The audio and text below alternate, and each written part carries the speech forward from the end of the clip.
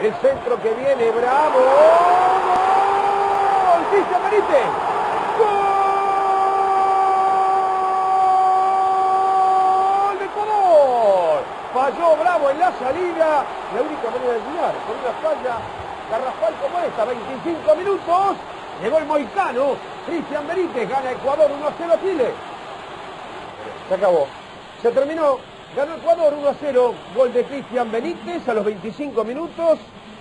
Expulsado Fuentes y Jara en Chile. Valencia en Ecuador. 12 puntos suma Ecuador. Chile se queda con 13 y espera a la Argentina el miércoles en Santiago.